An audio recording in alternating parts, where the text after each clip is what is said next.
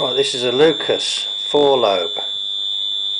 And what this says in the instructions is 32 on the left, 32 on the right. So I'm going to assume that those are the right, sorry, those are the left, these are the right. So shut them off and I'm going to be looking at this one. So at the moment, it only works on every alternative one on this one. So there's naught, there, there's the noise.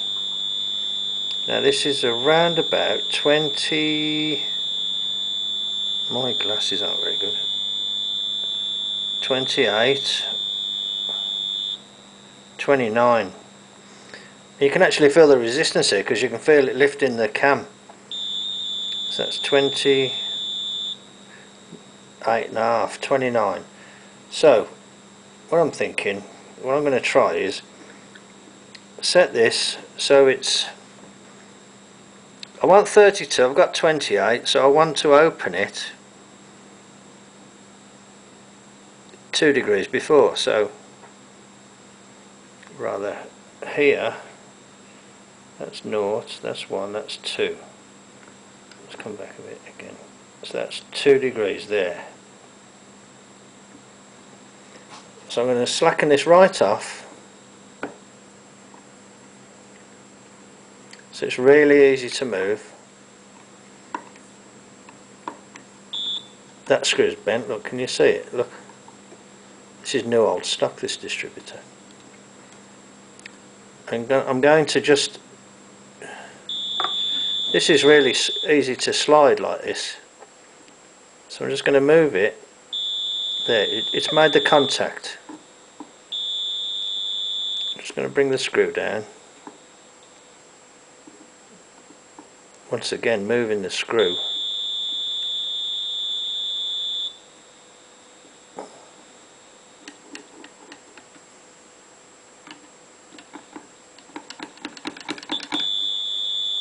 That's made the contact now.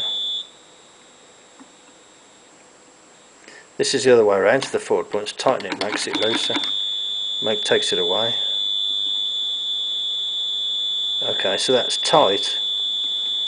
I've had my finger on the other one all the time on the disc all the time so let's see what this does now.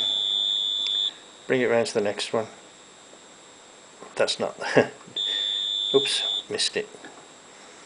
Okay. Here we are.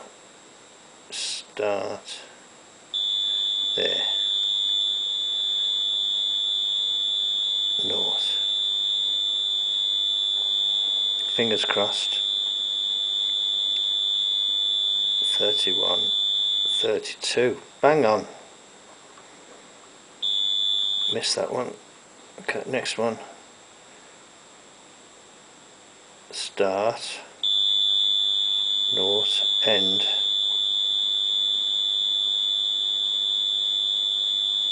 I can feel the resistance there trying to lift it so there 32 and a tiny bit. Ready for the next one. Naught. 31 32 and a tiny bit. So I'd say that's okay. So I'll lock them down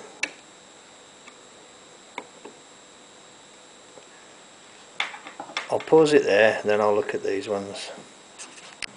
There it is. 32 on the left hand 32 on the right. Lucas 4 lobed cam and it doesn't quote a combined it's just set that one set that one. On these ones that runs four cylinders that one's run the runs the other four cylinders. That's the way it works. So I'll be back in a sec. So move the paper from there and put it into there so I'm going to turn it around, kind of try and get an idea of what's going on.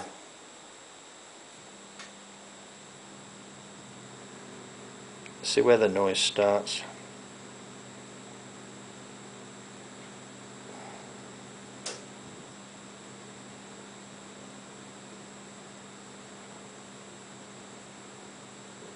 Come on, sometime soon, please. There. Right. Oh, the naught is in the same place. So how can that be? Anyway, let's just see what happens. 32. Well, that's just tiny bit before. 32. Now this is actually fa the factory setting because I haven't changed this one. Naught. 32. I think it's actually just slightly before the naught, but it is the factory setting. I'm not going to mess about all day, so naught 32, yeah, 32. So that's 32 and that's 32, so they're set. So I'll pause it there again while I look to see what else you have to check on this because this is a bit new to me. Okay, I think I've sussed this out. I'm reading the instructions what it says. What it says is timing the distributor. Lock the disc by engaging the pin in the hole on the edge of the disc.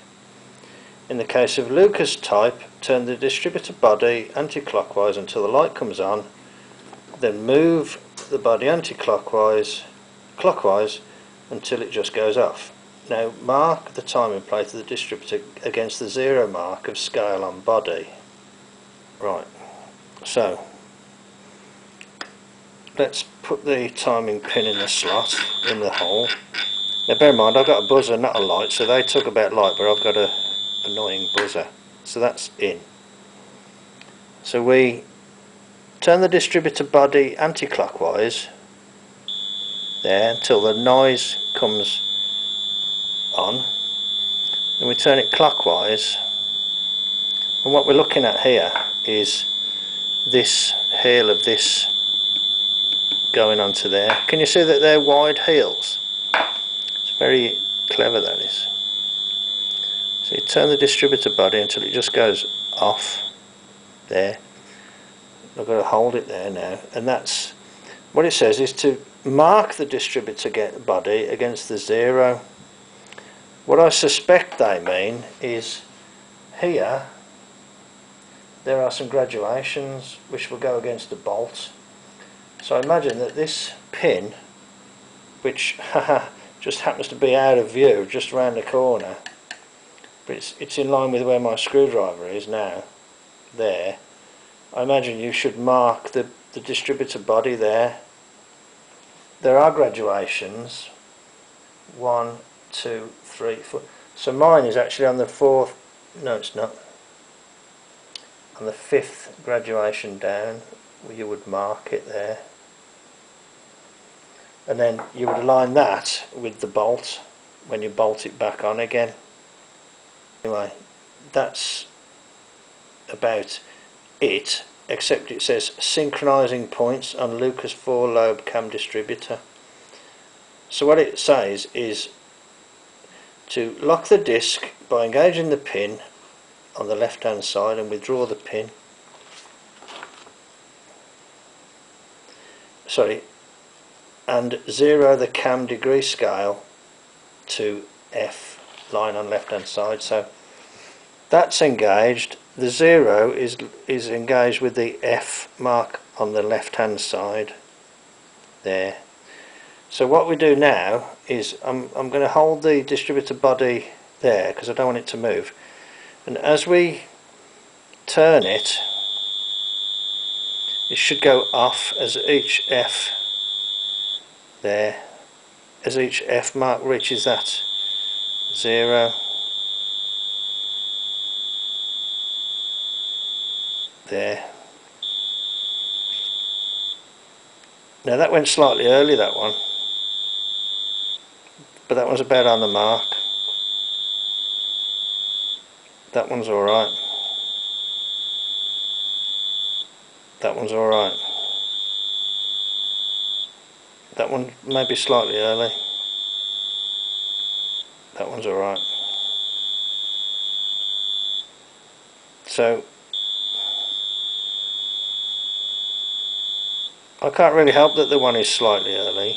That just means that, you know, maybe something's slightly bent or out of alignment, but as it stands, I reckon the adjustment is pretty good. What it says here is if any discrepancy greater than pl plus or minus one degree should be investigated as follows. If only alternative li lines mark F are correct, slight adjustments should be made to the contact breaker gap until a limit of plus or minus one degree on the scam, cam scale is obtained. In other words, if four of them are on the mark and four of them are just behind the mark, you could alter the gap on those four to bring it in line. You would, in, in, in other words, you'd run them at like 31 degrees to bring them up to the mark or something like that and then it goes on to say any discrepancy other than note C1 above will be due to a worn cam bent shaft or a spindle or bearing wear. So that's about it now. So I would take this distributor, bolt it on, align the mark I've just put on there with the bolt and basically that's about as good as it gets. They're dead simple. This is um, a commercial distributor, commercial or industrial, actually industrial. There's no vacuum advance. These very broad um, heels on the on the um, that's the cam. These are the sort of you know on the points here on the followers are very broad. They they last a very long time.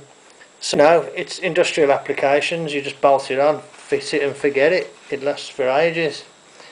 Okay, cheers. I hope that's been useful. Cheers then. Bye.